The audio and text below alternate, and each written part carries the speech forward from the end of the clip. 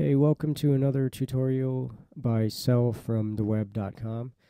Uh, this tutorial is going to teach you how to upload a new product to your e-commerce website.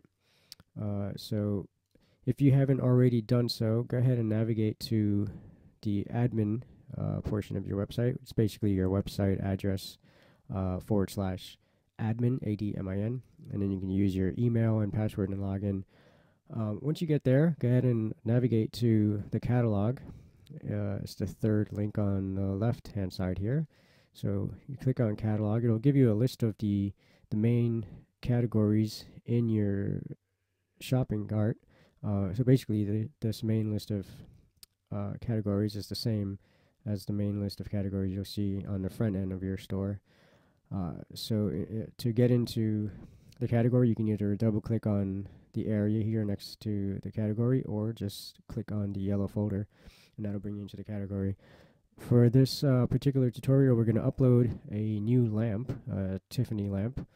Um, but before we actually even go ahead and do that, I just want you to take a, a note of something here.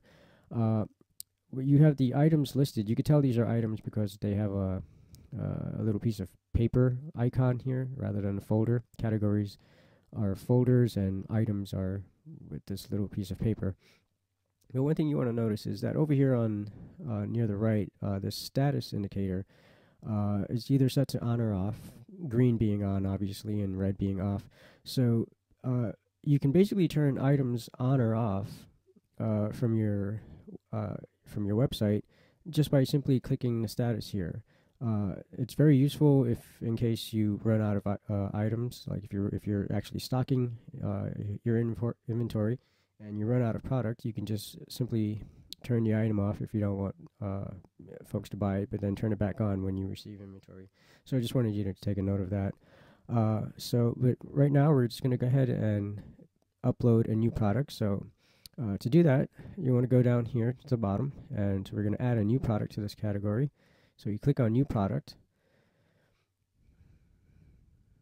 and um, my screen is uh, because of the video capturing software. Uh, my screen is a little bit smaller.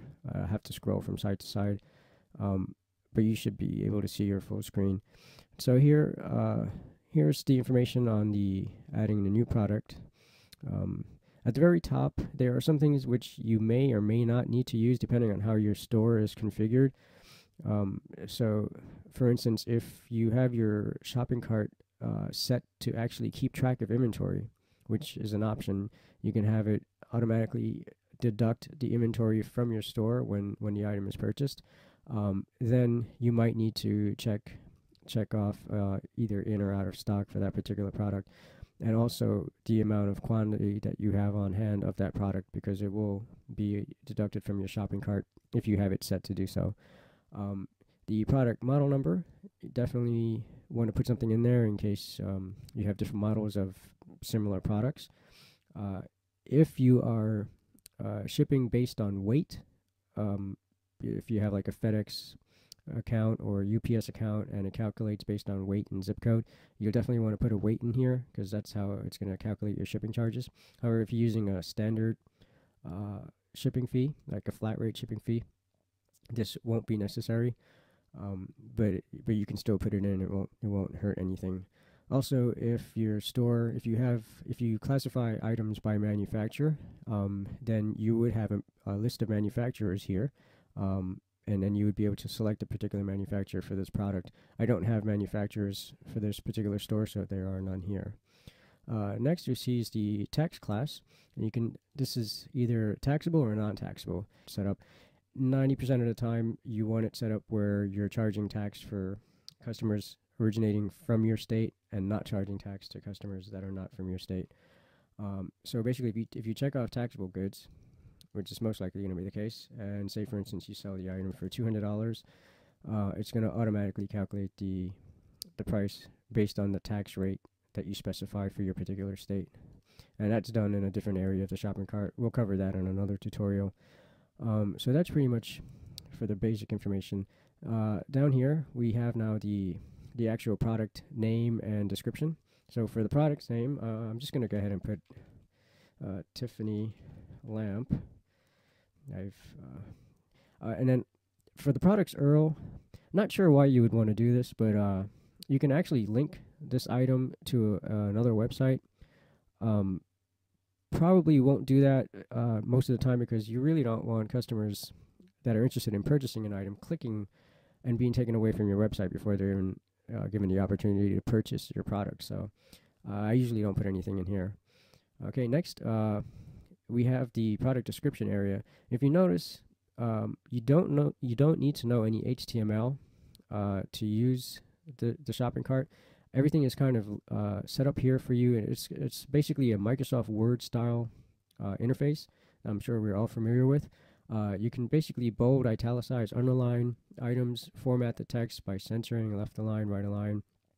Uh, you can actually even upload images by using this uh, image button here, and uh, you can actually create links. Now, if you do want to actually use HTML, um, if you've designed your uh, product descriptions and layouts in Dreamweaver or another WYSIWYG editor or hand coded it, you can actually click here on this HTML button and go ahead and paste the HTML code into the product description area. Um, we won't do that for this particular product. We're just going to go ahead and actually create the item using just the plain uh, uh, interface, the WYSIWYG interface that we have here, um, just so you can see some of the options available to you. All right, so first thing we're going to do is just give a title to the product description, and um, we're just going to go ahead and call it Tiffany lamp. Um, and so once you've created the text, you can actually just go highlight it. You can bold it if you want, italicize it, underline it. I'm just going to bold and underline it and check off italicize. Um, and that would be our heading right there. Uh, go ahead and hit shift and enter. Just shift and enter will give you one space. If you hit enter, it'll it'll create a new paragraph, giving you uh, two spaces between the, the, text that you typed. Okay, uh, so next thing we want to do is we're just gonna we're just gonna make up a description here. Uh, this is a great. Uh, be good if I can spell correctly. Great lamp. Um, you will really like it. Okay, just want to keep it short, just so you get the point. Uh, you can also uh, do ordered lists and unordered lists uh, by clicking here. For instance, um, I'll do an ordered list. Uh, click there. You can put in, um, you know, the specifics of the product. So I don't know, uses electricity made by Tiffany uh, Junior. Um, and let's see what else ships in one to two business days. And four available. Oops. I'll just put in stock. Keep it short. And and that's it. And then once you're done, you can just click again on the uh, ordered list button, and now you're back to your regular type. Um, so we can put some more information if, in here if we want. So please call for specific